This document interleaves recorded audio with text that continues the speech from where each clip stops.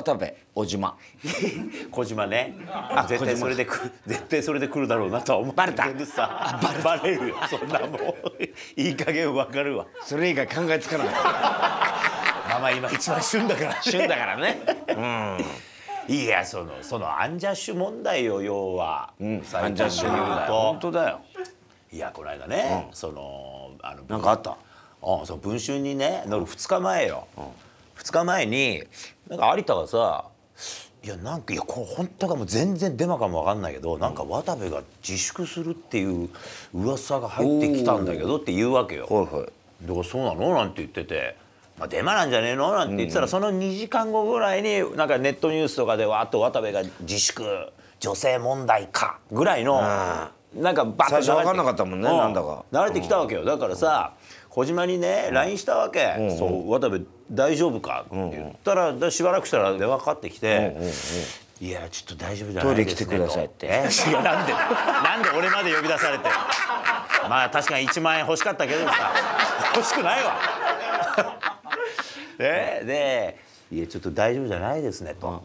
でまあまあねカクカクしかじかでなんて話をさしててさ「いやそうか」なんて言っててうわまああでもちょごめんなさいと。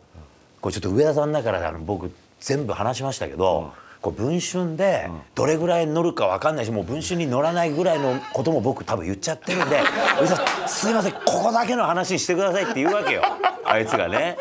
いやいやそれはまあもちろんだと別に 誰にも言わねえよなんでまあまあじゃあちょっとな大変だけど頑張れよなんて話して電話切ったわけよ。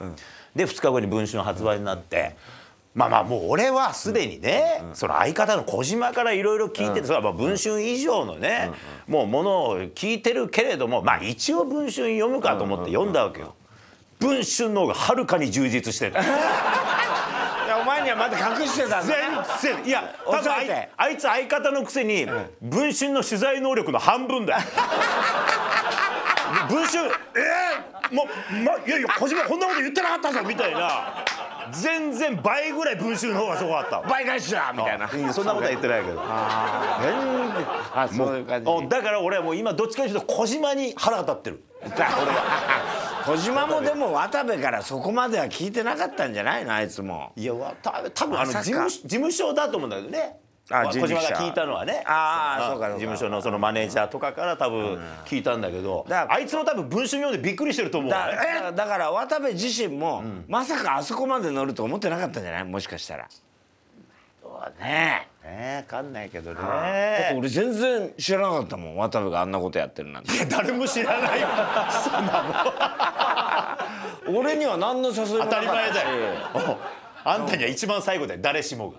え？誰しもが一番最後まで言わない。やそのトイレによ。え？トイレにのの誘いがなかったから当たり前だなんで誘われたがってんの？え怒ってんの？そこ？俺を誘わなかったって？あ確かにあんたも金持ってねえからな。はでも1万じゃちょっと俺は。いくらならいくんだよ。いや安い男だよ。怖い芸人にトイレ呼び出されて2万であざーす。って誰が尊敬するか。そんなやつ。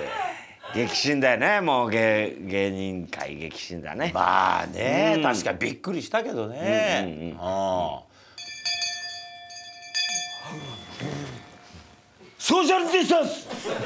あいいよ。守ってるよディスタンスは。最初から実はやってたね。ソーシャルディスタンスね。ソーシャルディスタンあスすごいよね確かに。この番組。先見の目あるわ、東京都東村山市22歳。男性。お前はどうしたいの？お前がどうしたらいいんだ？太田さん顔以外はジェームス・ディーンになれた人。いやなってないわ。どういうことなの？これ。もしも誰かと二人きりで一生部屋に閉じ込められるとしたらどの芸能人と閉じ込められたいですかだって。どの芸能人？質問だよこれ。もしも誰かと二人で、仲間由紀恵だろでもさ女子はやっぱ気使うんじゃねえかな。もうそしたら男同士の方がよくない？セックスどうするの？いやもうしないよ。もう一生二人っきりなんでしょ？それしないよ。できないよね男同士だったら。でできるはできる。何ができるはできるだ もうやっちゃうしかないよね。だって一生なんだからやっちゃうしかないよ。それ好きになるしかないよそれは。いやそうだけどだからほらそういうのを考えないもう男。男友達みたいな人でもいい男でもやっちゃうかもしれない。一生だよだって。一つの部屋でだよ。えじゃあ例えばじゃあ俺とピーちゃんが住むとするじゃん。やっちゃうな俺絶対。2日目でやっちゃうわ。い やそれはもう最初からやる気満々なんだ。俺 やるために住む まさか俺をそんな目で見てたとはな。まあでも俺もまんざらではないよ